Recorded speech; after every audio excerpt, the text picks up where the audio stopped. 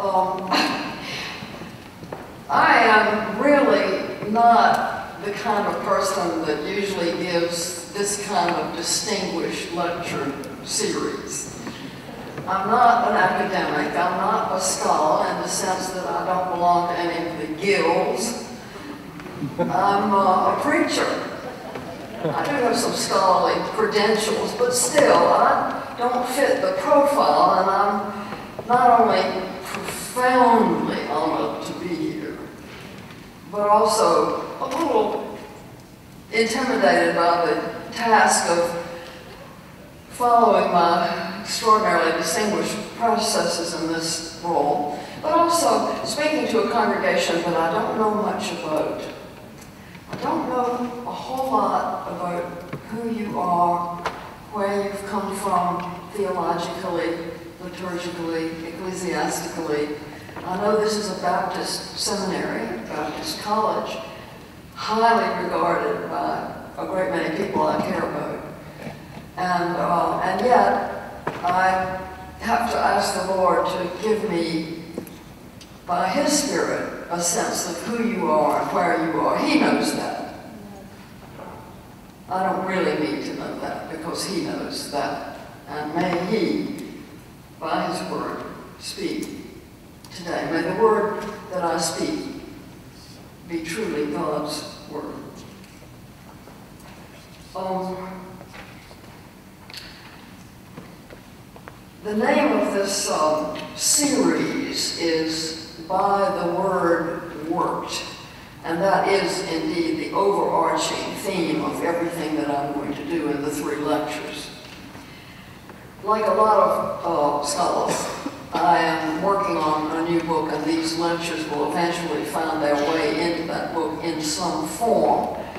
Um, I'm just beginning to get it in order. The three lectures will be grounded in the doctrine of the Word of God, and therefore it may seem at times that the subject of all three of these sermons is preaching. Now, not all of you are preachers or intend to be preachers by any means, so you may think that these lectures are not for you. But I hope you will find that not to be the case, because every Christian, lay or ordained, has an enormous stake in the preaching of the church. Indeed, a life or death stake. And I hope to show in the third lecture that I mean that literally. The gospel sermon is not a performance by one person for the consumption by another group of people. The sermon is a work in which the congregation and the preacher are both actively participating. That's why sermons published in books are always second best. When a sermon is actually preached, there should be an alchemy between the preacher and the hearers, an alchemy which can't be predicted or forced. Sometimes it happens and sometimes it doesn't, as I well know from long experience. Because when it is out of our hands, the sermon, the Holy Spirit blows where it wills. I can tell you this, that alchemy is most likely to happen when the sermons are preached week in and week out to the same congregation by a minister who is renewed each week by the Word. Somebody like Aaron over here. When that happens, the work of the sermon is shared in an ongoing context of mutual commitment and, by God's will, when it's really working, mutual love. Now, in addition to this point about the lectures being addressed, my lectures this two days, being addressed not only to preachers but also to those who are hearers. I have a concern about who I'm speaking to, as I said before. I operate within the mainline churches. And to some extent, surprisingly, my work seems to appeal to Roman Catholics, which has been quite a surprise to everyone. um, much cherished. I'm going to Rome next year to teach at one of the Vatican colleges, if you can imagine that. My readership in the mainline churches, however, as far as I can tell, is only from a small slice of those traditional Protestant denominations. My larger audience or readership seems to be from the non-denominational congregations, the breakaway denominations, the so-called evangelical churches. So this presents a bit of a problem about how I, I speak to this particular Baptist-inflected congregation. I am mainline to the core, but within the main lines, I represent a traditional Reformed outlook which is increasingly weakening even among the Presbyterians, let alone the Episcopalians. I am here standing on solid Reformed ground, God willing. Um, I've been working on that fault line between the main lines and the evangelical denominations all my life, but I may not be precisely addressing your specific situation. I hope that you will be able to adjust accordingly. I can say this much, I'm not going to be talking about the evangelical far right. That will not be on my spectrum. That is an easy target, target, tempting other Christians, other Christian bodies to smug and self-righteous disdain. Rather, I'm going to try to speak to the people who I believe probably make up most of the audience here today, who, beginning with mainline Protestants and stretching away to the uh, multifarious non-denominational and breakaway Protestant bodies are largely, mostly well-educated like yourself. So to begin with, I'm going to set out to debunk two common notions about Christian preaching that you might have heard. The first one is true in one sense. It is true that the congregation of hearers and the preacher in the pulpit are working together. That is absolutely right.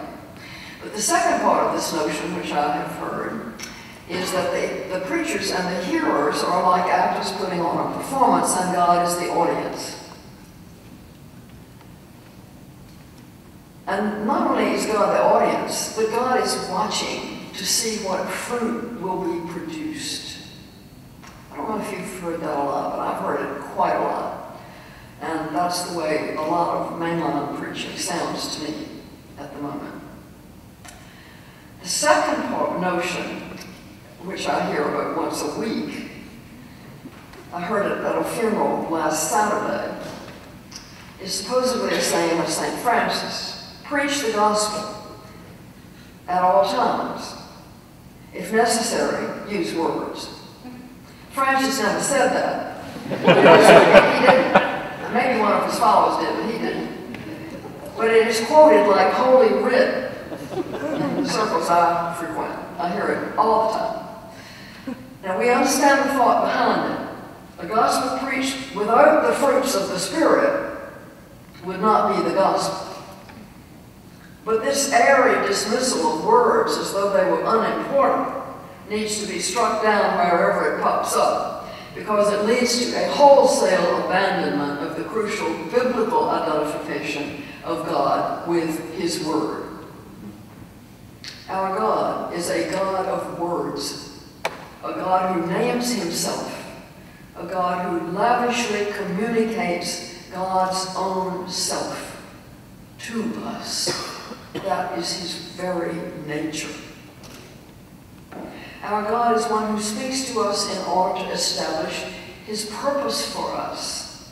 The ultimate expression of God's word is the Son of God himself, who spent his entire life on earth revealing the Father through his teaching. Now, of course, it's true that Jesus performed works and that Jesus revealed God in his actions. The signs, as John calls them. But Jesus' signs do not speak for themselves. They come with words of revelation, words that reveal who Jesus is and why he is doing what he does. In an often read passage from Luke, I believe it's illustrated on the window, Jesus inaugurates his ministry in the synagogue at Capernaum, reading from the scroll, the book of Isaiah, where the prophet defines the signs of the kingdom of God. Everybody's looking over there. I think it's the first window, isn't it? Okay, reading from the scroll? Okay, let me get you back again.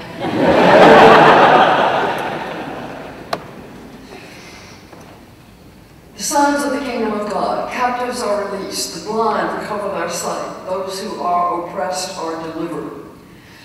So far, so good. But Jesus does not stop there. He rolls up the scroll, hands it to the attendant, sits down, which is the teaching position, and says, Today, this scripture is fulfilled in your ears. With these words, he announces himself as the long awaited Messiah, the one who will inaugurate the reign of God in his own presence. With these words, he announces himself. The crowd, recognizing that this is a man whom they know as a local boy, the son of Joseph the carpenter, is now claiming too much for himself. His words, which first appeared gracious, become offensive to them. I'm going to return to this passage from Luke and Isaiah in lecture 3. As Hebrews teaches, and as this story from Luke illustrates, the Word of God is living and active, sharper than any two-edged sword, piercing to the division of soul and spirit, of joints and marrow, and discerning the thoughts and intentions of the heart. That's pretty scary, don't you think? But it is precisely that double-edged Word of God that not only speaks in Jesus of Nazareth, Nazareth, but is actually incarnate in him as the Word come to earth to dwell among us. Listen again to the beginning of the book of Genesis, the first words of the Bible. In the beginning, God created the heavens and the earth. And God said, Let there be light. And there was light.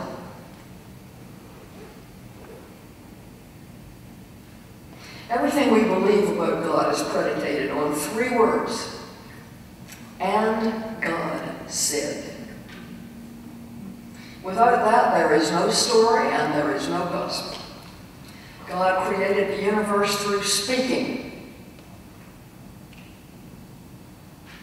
Let there be light. The first words of creation. Every time I think about that, it shakes me up. Without that, without those words, without God's speaking, there is no story and no gospel. God called a people into existence by speaking to Moses. God commissioned the prophets to speak, to be God's voice. And in the opening words of Hebrews, we read, in many and various ways, God spoke of old to our fathers by the prophets. But in these last days, he has spoken to us by a Son, whom he appointed the heir of all things, through whom also he created the world.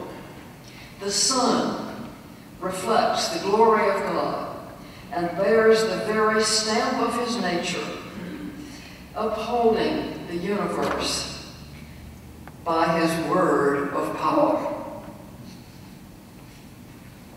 Jesus Christ upholds the universe by his word of power. I think many good churchgoers today have not entirely taken that in.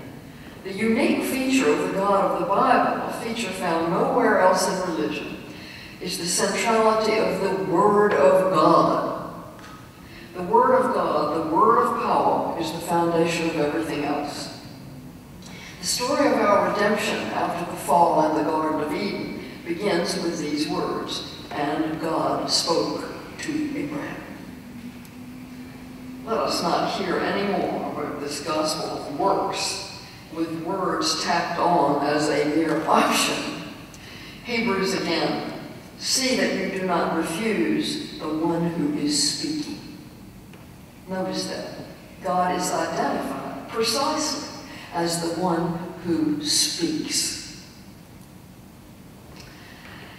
My own ministry of preaching takes me into pulpits in many different denominations, and I also hear sermons every Sunday in a variety of Episcopal churches. I will just say that as I travel around, I get the impression that most congregations don't seem to have a sense of the biblical doctrine of the Word of God. They don't expect anything life-changing from the sermon. There is no excitement about the sermon, no anticipation. Again, not true with Aaron. In the, go to St. Albans Church. In the Episcopal Church, it's the liturgy and the communion that get people to come and that keep them coming, if they come at all. It hasn't always been that way, though. For 14 years, I preached in an Episcopal church in New York City that was quite the opposite. Grace Church in New York, in Greenwich Village. People largely come largely young, excuse me, largely young congregation, and they came because they expected an event of the Word of God every Sunday and every Wednesday too.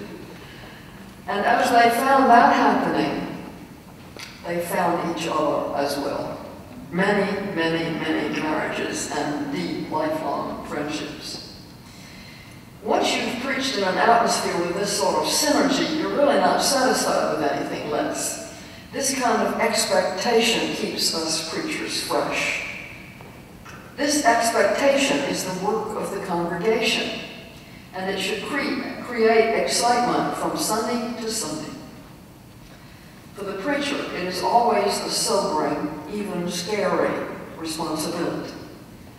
But the preacher is carried and borne up by the promise of God that the preacher will be used as a vessel for God's living word. Parenthetically, and for the record, the Church of Calvary St. George's in Manhattan has more or less taken over that role where the Mockingbird conferences take place.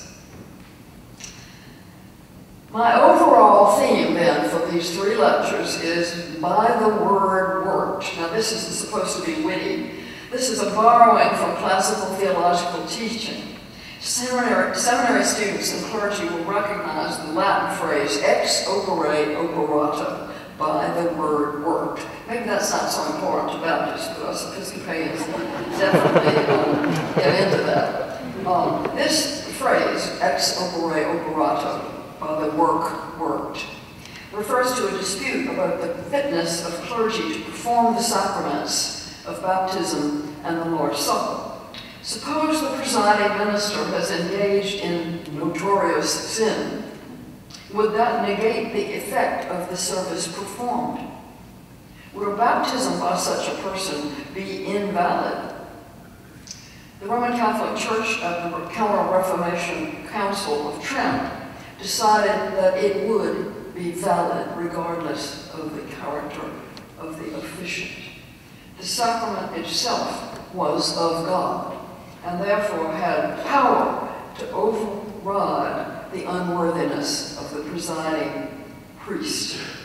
It was ex opere operato, by the work worked.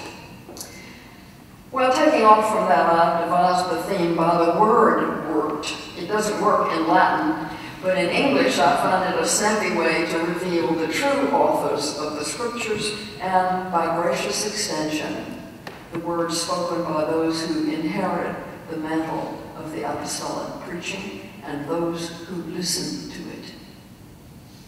The effective agent in the true gospel sermon is not the preacher, not the listener, not even the synergistic energy that is produced when preachers and listeners are interacting at the level of the gospel. God is not the audience. God is the animating agency inhabiting the written text as the preacher is led by the Holy Spirit, speaking words that effect, that bring into being what God intends the most precious gift that God gives to preachers is listeners with an ear to hear what the Spirit says to the churches. Blessed are those who find themselves in congregations where this is understood and where the eagerness for the word each Lord's day is a sign that God is on the move. Now, what I've said so far is an introduction to the theme by the word worked, a presentation of the biblical doctrine of the Word of God and the, its role in the preaching of the church. Now, the second half of this lecture will be the beginning of an attempt to build something constructive in the midst of what I see as a preaching desert in many of the churches, sometimes even in self-identified evangelical congregations who pride themselves on their pastors' preaching. I'll be trying to build this up throughout these three lectures. I think I may have made a mistake in calling this first sermon, all this stuff about postmodernism, that may have been an error, but um, having uh, done that, I am going to wade in and see if I can make myself comprehensible. I believe that these trends that I'm about to identify are trends which have had grave effects on pulpits. So first I'll identify the trends. And then second, I will respond to them by saying something that I hope will be encouraging. And then this afternoon, I'm going to attempt to say something further about the theme of power, which lies at the heart of the postmodern agenda. So, four trends in postmodernism that I believe have weakened all of our preaching.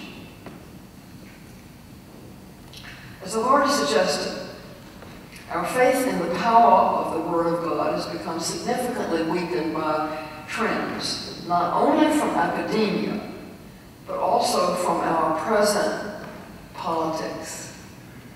These trends have influenced the churches, particularly in the suspicion of the notion of power. This has resulted in congregations that don't expect sermons to be powerful events of the living Word of God.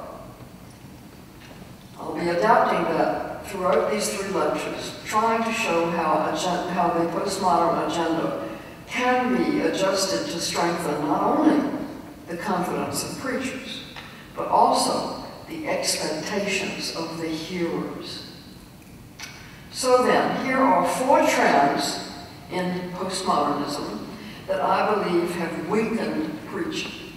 To some extent, they blend into one another, but I've separated them for the purpose of emphasis. One, we have forgotten how to be theological. We haven't even noticed that our sermons have become anthropological. We have made human potential and human possibility the center of our biblical interpretation. And that I find has sneaked into even the most supposedly evangelical preaching. Human potential, human possibility. I'll talk about that more as we go on. Number two. Number one is we've forgotten how to be theological and have become anthropological. Number two, sermons depict an all loving, all accepting, all embracing, but passive God, who is the object of our religious search. Instead of the God who has made an epical journey to us even unto death, God's journey to us. Instead of that journey, we hear incessantly, more and more every day I find, of our faith journey in search of God. I'd like to have a dollar for every preacher I've heard get up and say, we're all on a journey. That has become the center of the gospel story. But it's not. About that later. when we talk about our faith journeys all the time, we have taken the spotlight away from God and directed toward directed the spotlight toward ourselves and our own doings, even our own so-called spiritual efforts. So as a result of this, sermons threaten to become hortatory or therapeutic rather than revelatory events. Three, and I'll talk about this considerably later on, a Jesus kerygma message a Jesus kerygma of Jesus' selected words and deeds, endlessly retold, has replaced the Christ kerygma of the evangelists, the apostles, the church fathers, and the reformers. This is true of almost every sermon I hear in the main lines today. I'll talk about the Jesus kerygma and the Christ kerygma later, tonight, I believe. Four, sermons tend to be timid. They lack a sense of urgency. Preachers, I find, seem to be afraid of too much power. I think mainline preachers have become so reluctant to be mistaken, or so fearful of being mistaken for television evangelists, that they have been in full flight in the opposite direction. So those are the four trends that I've identified. Now I'm going to offer counter proposals or counter affirmations to each one.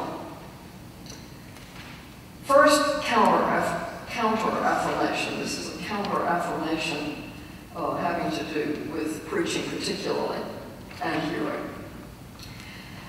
First counter affirmation. The Word of God is, above all, powerful. Well, Wellman has written, preaching is always a reenactment of the primal miracle, and God said. This is the fundamental presupposition of all Christian preaching. The entire Christian enterprise and the biblical story itself stands or falls on this premise God has spoken. Now, to whom has he spoken? First of all, to the prophets, evangelists, and apostles. But now, brothers and sisters, he speaks to us and through us when we have put ourselves into the service of his word, whether we are preachers ourselves or not.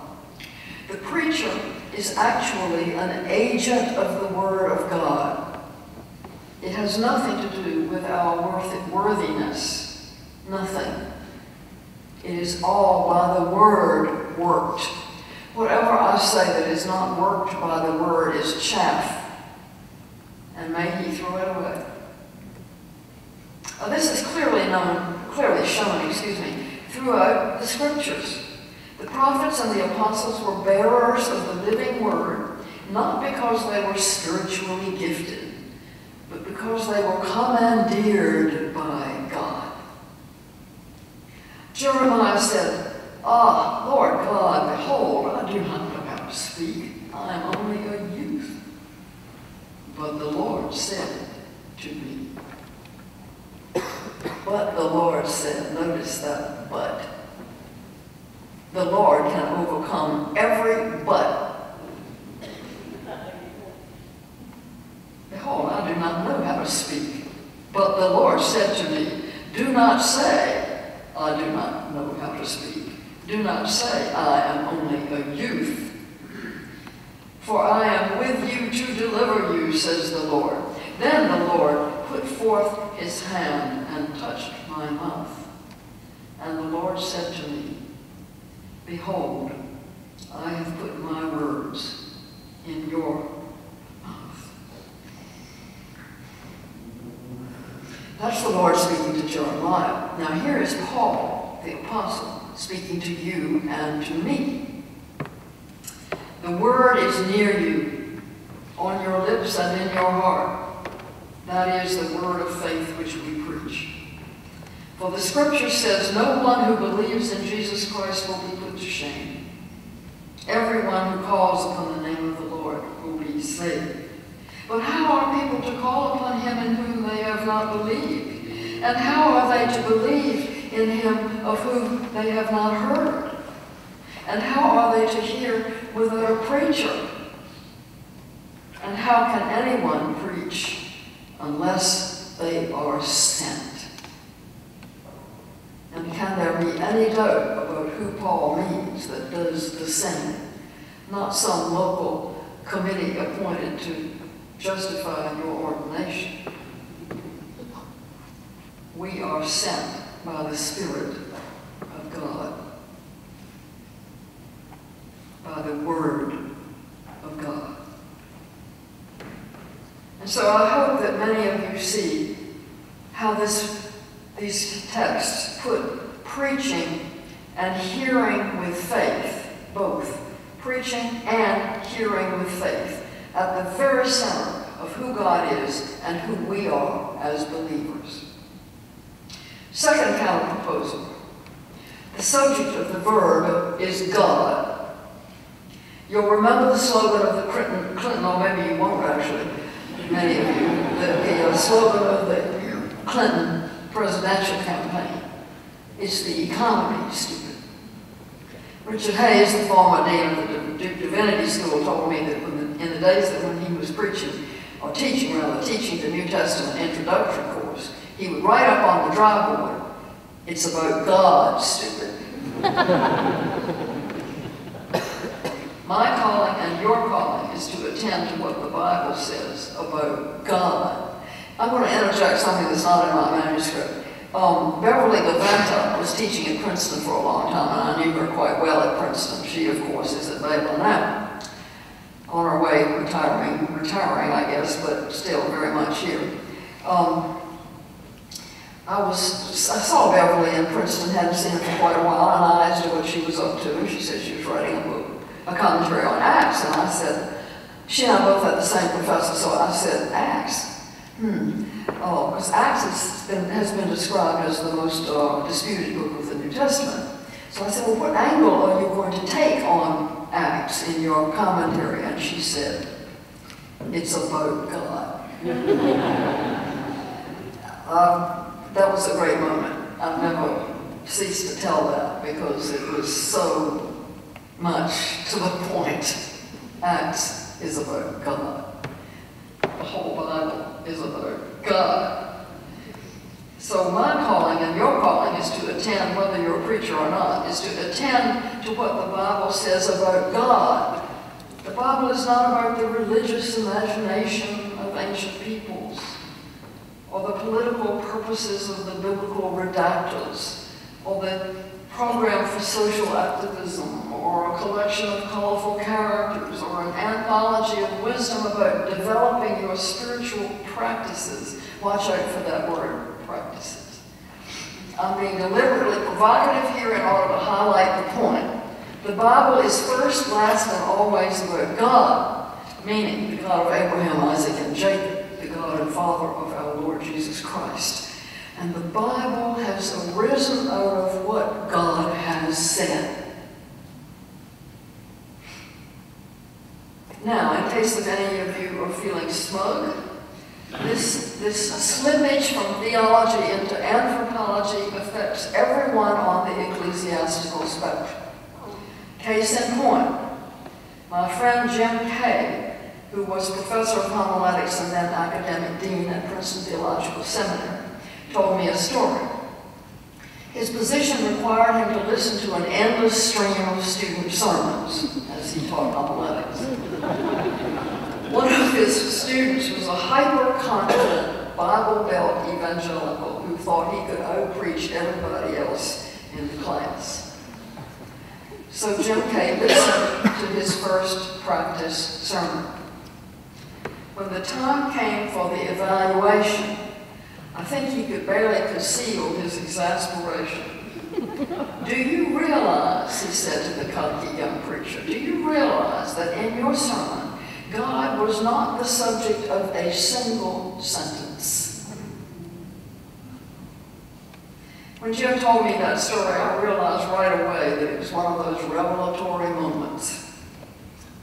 I had already published two books of sermons at that point. But after that, I started, I started watching for the subject of the verb much more carefully and much more consistently. Here's the scripture text from Galatians. Listen to Paul and the subject of the verb. Formerly, when you did not know God, you were in bondage to beings that by nature are no gods.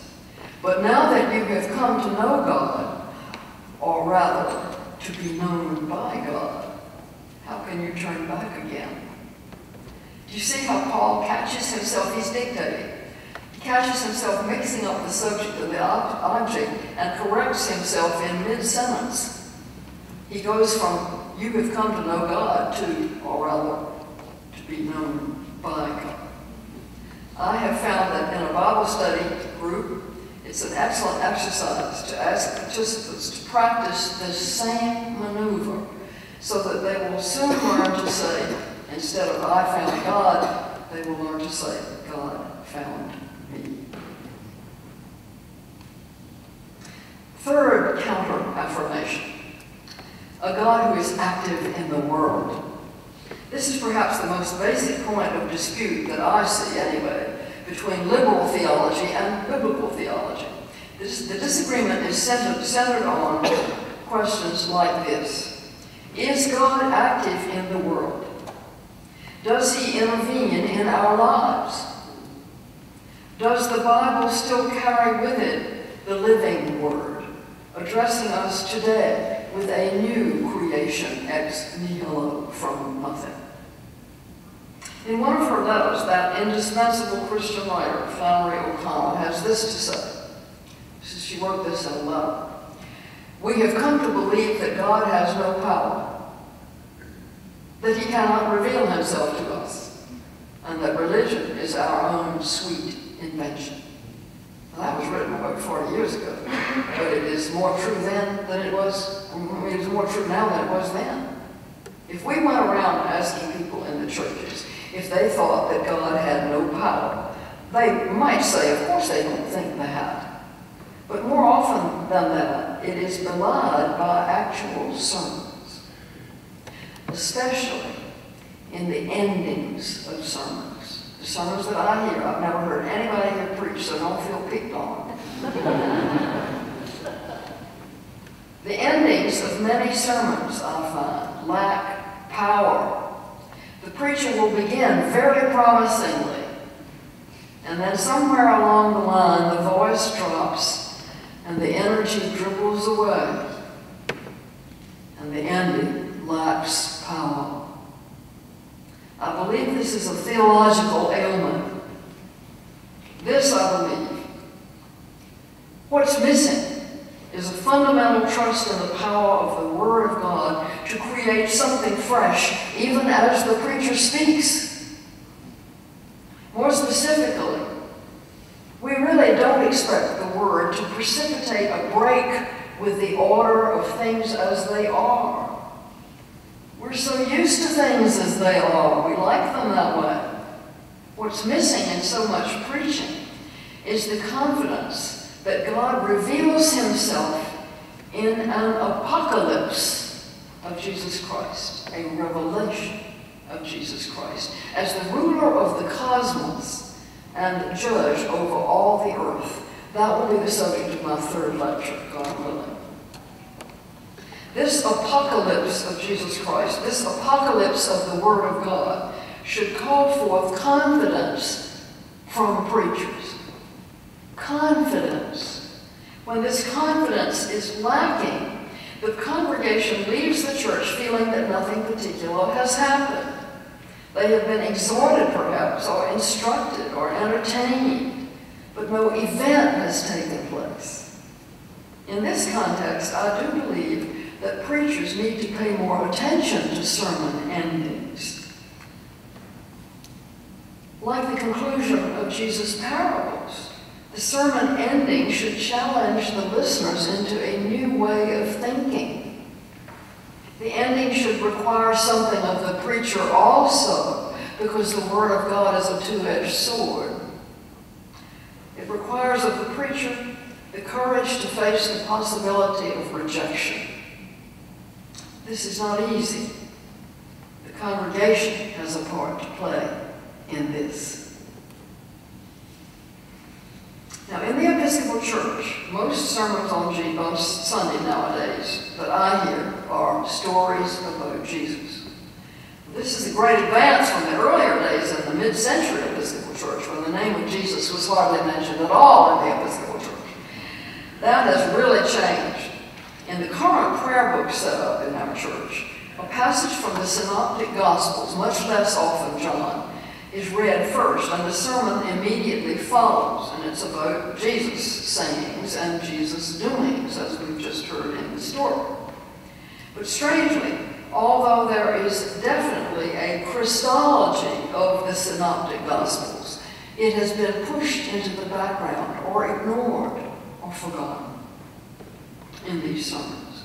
And just to give you an example, I've probably heard 50 or 60 sermons, at least 50 or 60 sermons on the Transfiguration in my church-going life. I'm 82, so that's I probably maybe I've heard 70 sermons on this Transfiguration. No kidding.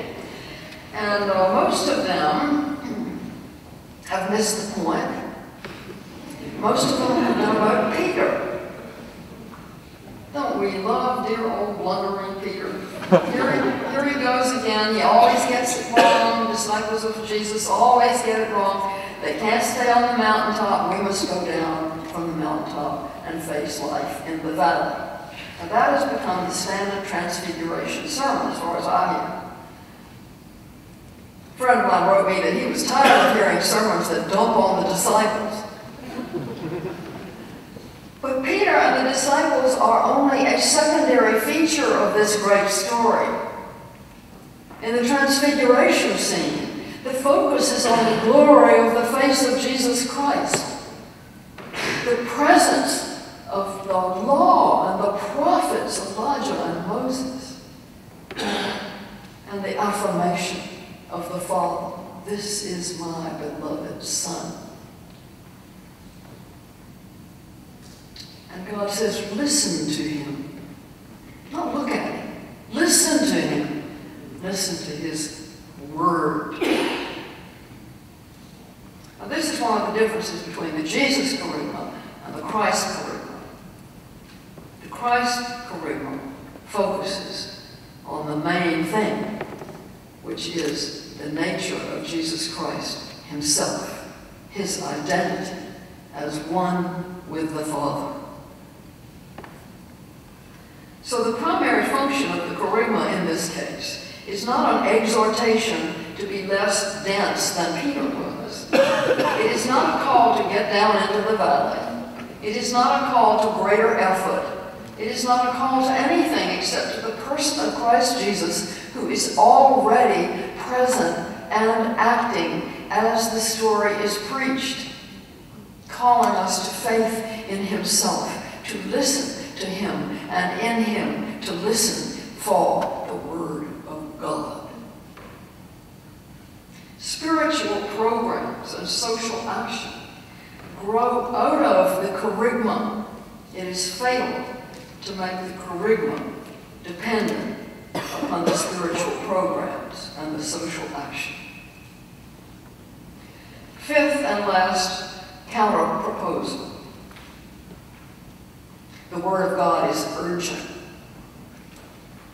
Anna Carter Florence has said, the congregation may not be convinced, but they must know that you are convinced. So often the congregation suspects that the preacher is not convinced.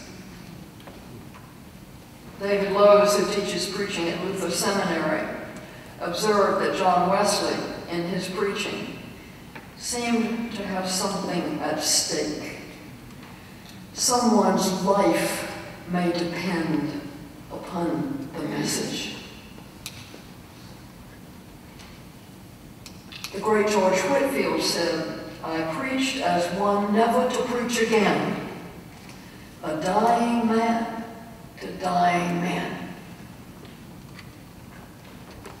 Moreover, an urgent message expects a response. It is the vulnerable, at-risk language of relationship, the language of love. Rejection is a real possibility. The ending of every sermon, I believe, every sermon, should be a last bid effort. Devil take the hindmost. Do or die attempt on the part of the preacher.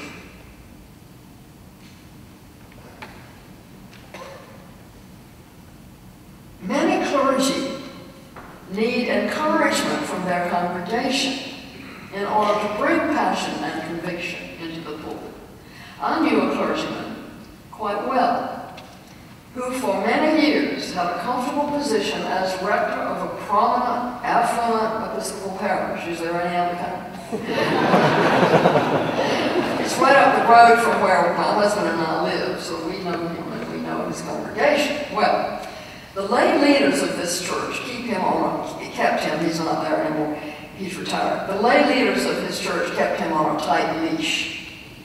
He was literally afraid of his own congregation. I know him well enough to know that in his heart, he personally believed in a high Christology and a powerful word. But he wouldn't say so from the pulpit in that church.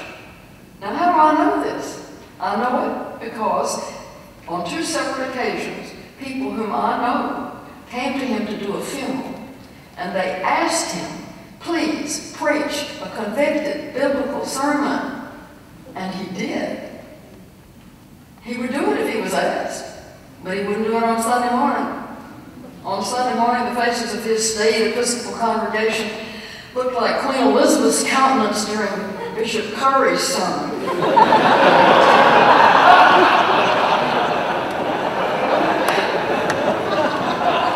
you saw that, right?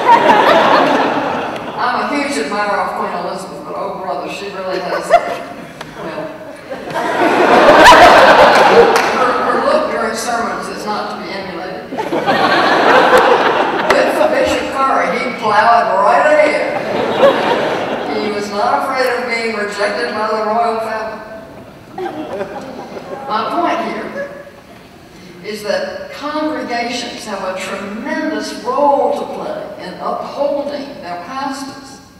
When I used to look out at the Grace Church congregation in New York City and see all those shining, expectant faces, it gave me a strength that I knew was not my own. It's about God.